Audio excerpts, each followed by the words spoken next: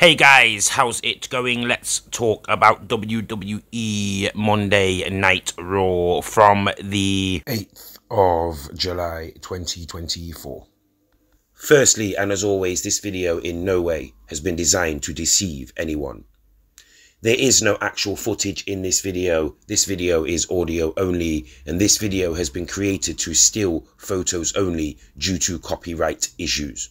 If you wish to watch this episode of Monday Night Raw, either tune in to the USA Network or head over to the WWE social media pages like Twitter, and you may get some help in doing such things. This video has also been created to prevent the freeloading of professional wrestling. If you wish to watch, then you should pay to watch. Welcome to Monday Night Raw. I'll keep you guys posted as best as I can during this episode of WWE Monday Night Raw.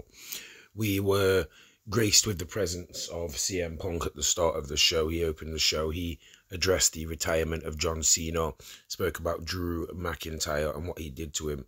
It's led to an interesting situation because Seth Rollins, of course, will not be allowed to challenge for the World Heavyweight Championship while Damian Priest is the champion because of the stipulation that they set for Money in the Bank. And of course, that was caused by Punk uh, costing um, uh, Drew McIntyre that led to Damian Priest retaining.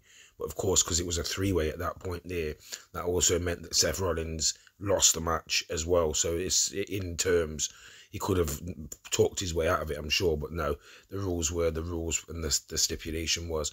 So yeah, Seth Rollins. And there's also signs that CM Punk is turning heel and he is acting now a bit delusional and crazy as of old. Stay tuned for more.